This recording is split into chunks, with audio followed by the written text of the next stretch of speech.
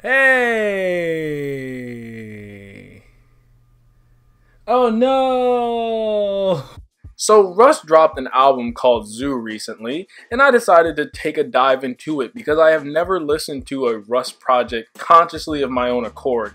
I may have heard him here or there in features, but I've never known the guy beyond what people and critics have said, and usually those things are not very nice. When diving into an artist that I kind of only hear negative things about, or I've never heard of, or I've never listened to, I usually like to look at the concept behind what might have helped them or assisted them in making this album. What particular emotions were they trying to convey? What things were they trying to show or illustrate through their music? Naturally, I look at the word zoo, I look at the picture, it's showing these animals behind these bars and it would seem that at least to me in my assumption Russ is trying to talk about how he may feel trapped in this world of entertainment the industry you know bogging him down everything kind of working against him and people only seeing him as something to prod and look at and be entertained by similar to how animals in a zoo are usually only there to be watched and while they do live in captivity and they're safe from predators it's still not really a free life in the same way that an entertainer never really has a truly free life.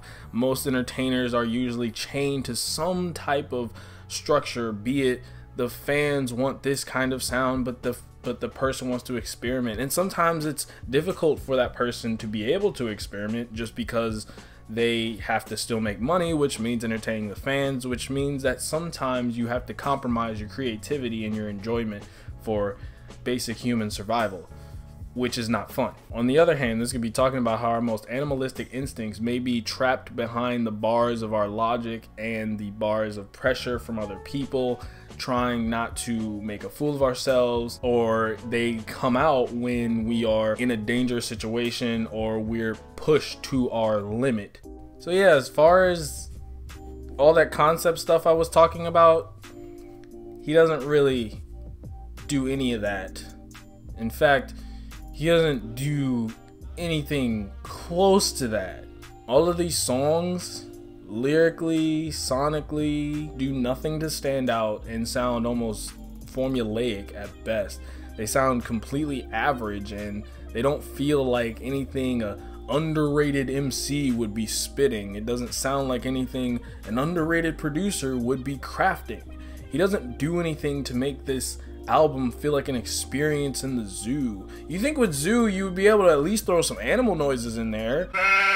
But no, no, he doesn't do any of the things that would make this interesting at the very least. I mean, the most egregious things that happened on this album, we could put on a list and you can put them in any order you want. The first thing that struck me was on Kill Them All when he talked about how he's gonna kill all the bad rappers, all these lamos trying to get in this game, thinking that they're gonna be chasing clout and trying to stop us good rappers from bringing out the real heat. Well, they got another thing coming. I'm about to pull out some Michael Myers on them. I'm gonna Halloween them to death. Like I'm gonna like lyrically, I'm gonna murder them so bad. He he doesn't do that at all. He just kind of mentions certain stereotypes of rappers trying really hard to be famous. 2 plus 2 also equals 4. I know lyrically I said like there's nothing on here that's compelling or striking at all. And then I heard this verse.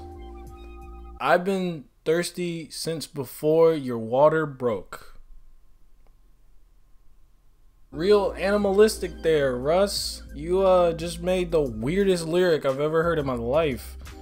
As far as uh 2018 goes, that's definitely up there with uh just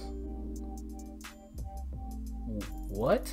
There's also a song in which he high fives himself verbally for making a crazy beat that's completely lifeless and does nothing to be entertaining or an experience or out there or wild in any form or fashion. It's actually probably a beat that would make grandma just chill with her pearls. She wouldn't clutch them, she'd just be like, oh yeah, I got pearls on if you want to do a comparison of something that's more interesting and you want to look at a producer slash rapper that actually makes crazy beats, you could look at, oh, say Tyler the Creator. Um, I don't know, Frank Ocean, Earl Sweatshirt, for like they make crazy beats. I mean, sonically, as far as this thing goes, when he tries to talk about these sad moments in his life and how upsetting they are, I don't feel anything but not pity, but just like, oh, that sucks. I am really sorry that you have to deal with that. And for another comparison, Kendrick Lamar's You from To Pimp a Butterfly, which is a supremely better album, obviously, but I'm just using it for comparison to really drive home the point Kendrick Lamar's You, he uses the sounds of him drinking. The saxophone is ominous, and the, the entire song itself is ominous. And you can feel like Kendrick is falling further and further down this rabbit hole. There's more emotion in his voice as he goes on. He starts already broken, but he sounds like pieces of shattered glass by the end. You can feel the poignancy at the very end, the revelation that comes to him when he says the last lines of like how he's the problem and Russ is just like I make more money than my dad and that upsets my dad and that's causing problems within their marriage. Here's the thing. You can say yes, two artists talked about sadness in a different way. That's perfectly fine. Yes, two artists had problems and issues which legitimately upset them and plagued them in a way that many people can potentially relate to, except for maybe the getting rich part. But, you know, upsetting your parents or feeling depressed, feeling upset with yourself, feeling a lack of self love and self care. These are definite themes within our entire generation. Yes. But does that mean that then you can't craft it in a way that's interesting or makes it feel like I am living the the music version of that. Wait, wait, wait, wait, wait. There were there were features on here. Um, there's so many. There's like so many. There was like Rick Ross. There, there was Snoop Dogg. And then one more. Manalia? Manalia? Man- Manalia? I, an idiot. It's Mahalia. And somehow my brain was just so scrambled by trying to describe this boring album that I unfortunately made that error. Apologies. It is Mahalia, not Manilia because I don't know what I was freaking thinking. I don't I don't know her. They were they were on this this album, and if anything, I was happy to hear another voice that wasn't Russ's because at that point I was starting to lose my sanity. So I was very happy to a not fall asleep and b be able to hear someone else and that's pretty much all the features did they weren't really supplemental they didn't bring any life into the tracks. They just kind of just fit right in. And while that's nice, it didn't really do anything to propel this album at all. Similar to how Russ didn't do anything to make this album propel itself, stand out at all. But I digress, as I would like to just stop talking about this album. It's bland, it tastes like flour, and I would not recommend it. However, I would say this. Most likely, those who are already fans of Russ will enjoy this if this is what Russ has produced prior. This is my first foray into Russ, and I would like to ne- never again. Just, just not.